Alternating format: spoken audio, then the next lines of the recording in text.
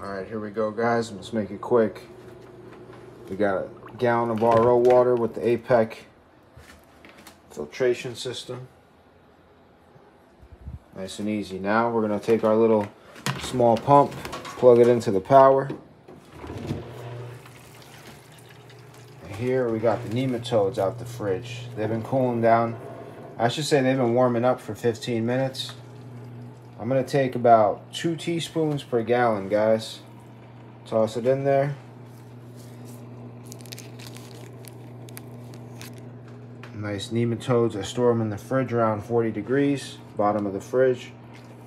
Let them mix in, guys.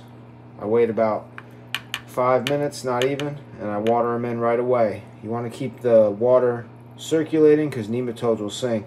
This will control a bunch of pests like western flower thrips, fungus gnats, a lot of other stuff.